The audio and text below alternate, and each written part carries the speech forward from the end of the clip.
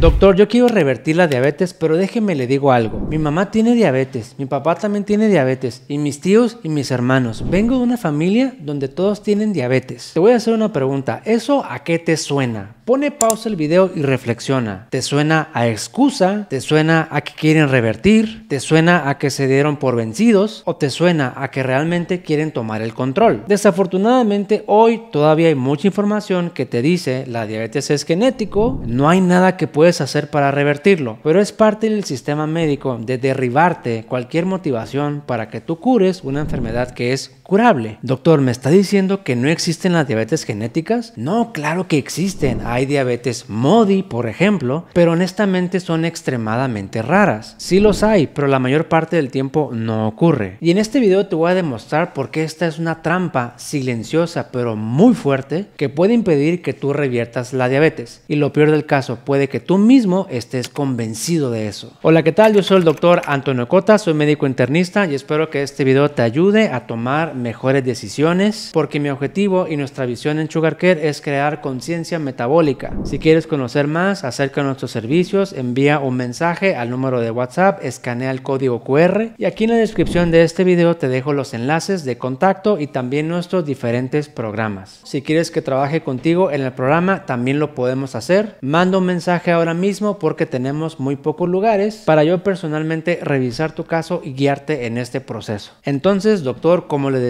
yo vengo de una familia diabética y usted sabe que eso es bien importante. A ver, vamos a poner el asunto sobre la mesa. La genética es bien importante y en eso todos estamos de acuerdo. Pero la genética predispone, no condena. Si tus genes te condenaran, en realidad no pudieras hacer nada. Y si hay enfermedades que se manifiestan de esa forma, pero no la diabetes tipo 2. Los genes te predisponen, pero no son determinantes. Lo que va a determinar si esos genes de la diabetes se activen o no es tu estilo de vida. Así que desde ese punto de vista, la diabetes tipo 2 no es una enfermedad genética. Lo que sí puedes heredar es la predisposición. Pero de nuevo, eso no es determinante. Estadísticamente hablando, las diabetes genéticas corresponden al menos del 1% de los casos. Como te digo, sí existen, pero no son frecuentes. Habitualmente en medicina clasificamos las enfermedades como transmisibles y no transmisibles. Una enfermedad transmisible, por ejemplo, es una gripa, ¿no? Una infección respiratoria. Tengo tos, tengo moco, tengo flema y si tú estás aquí conmigo y te estoy tosiendo en tu cara, pues te vas a contagiar y vas a desarrollar esa infección. Yo te la transmití o yo te contagié. Y se dice que hay algunas enfermedades que no son transmisibles. Yo tengo presión alta y si tú eres mi amigo y estás aquí cerca, yo no te puedo contagiar la presión alta. Por eso se dice que esas enfermedades son no transmisibles. Pero hay algo bien importante. Yo pienso que sí son transmisibles, pero no en el sentido clásico. En algún momento en un taller que hice me pidieron hacer un ejercicio. Escribe en esta columna el nombre de tu papá y en esta el nombre de tu mamá. Pon cinco rasgos de ella y cinco rasgos de él. Ahora bien, dime,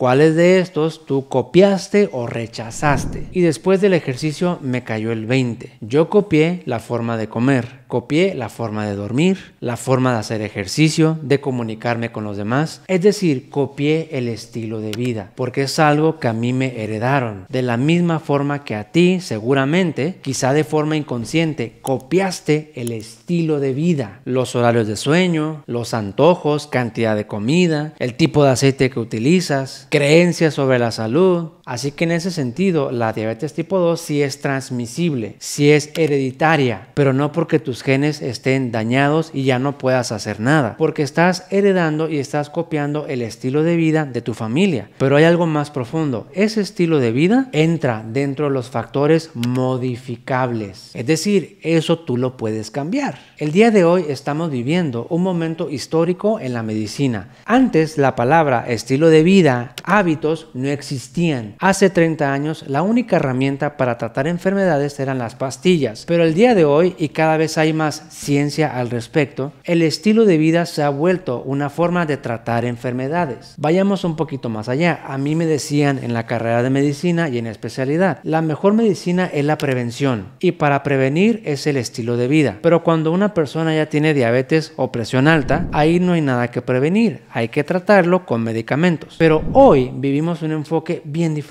El estilo de vida te ayuda para prevenir enfermedades. Primer nivel de atención. El estilo de vida te ayuda para tratar enfermedades como la diabetes, sobrepeso, hígado graso. Segundo nivel de atención. Y el estilo de vida también te ayuda para reducir paliar o minimizar las secuelas o complicaciones de alguna enfermedad. Tercer nivel de atención. O sea que el estilo de vida abarca los tres niveles de atención. Y eso tú lo puedes modificar. La magia de esto es que no requieres ir al hospital ni a un consultorio, porque el estilo de vida no es lo que haces en el consultorio, ni lo que haces en el hospital, ni lo que hace el doctor por ti. El estilo de vida es lo que tú haces en tu día a día, en tu casa. Además, si quieres más datos, hay algo que se llama epigenética, algo así como por encima de los genes. Esos genes se activan o desactivan según lo que tú haces. Puedes haber heredado muchos genes que te predisponen a la diabetes tipo 2 porque toda tu familia tiene diabetes, pero si tú no los activas con un estilo de vida saludable, esa enfermedad no se va a desarrollar. Así como lo escuchaste, tus genes tienen interruptores que puedes apagar y prender según lo que tú haces. Pero para eso requieres un mapa metabólico, una guía sobre cómo funciona tu metabolismo para que lo puedas corregir. Te puedes apoyar de algunos estudios de laboratorio, pero esos no te van a contar la historia completa. Por eso aquí en la academia trabajamos diferente, utilizando tus patrones o tendencias metabólicas. Vamos a ver tu metabolismo para de ahí partir. Puedes escanear el código QR para más información acerca del programa. Puedes avanzar por tu cuenta de forma autodidacta. Es una metodología te va guiando para que tú logres el equilibrio metabólico o si requieres una asesoría más personalizada también lo podemos hacer y yo mismo superviso tu caso. Porque en Sugar Care hemos visto a muchas personas que así llegan, doctor, toda mi familia tiene diabetes, yo no voy a poder. Hasta se molestan cuando uno les dice, tu problema no es genético, esto lo puedes revertir, pero no por darle la contra, es porque cuando uno utiliza esas palabras, tú mismo bloqueas el camino de la reversión sin darte cuenta. Hace unos días una señora que se atiende con nosotros, que acaba de realizar el bootcamp, me dijo, doctor, estoy muy agradecida con ustedes. ¿Y sabe qué se me quedó bien guardado? Estos cambios en mi alimentación, en mi sueño, en el estrés, etcétera, es lo que yo le voy a heredar a mis hijos. Con estos cambios que estoy haciendo, estoy asegurando que a ellos no les pase lo que a mí me pasó. Eso se me quedó bien grabado y tú tienes la oportunidad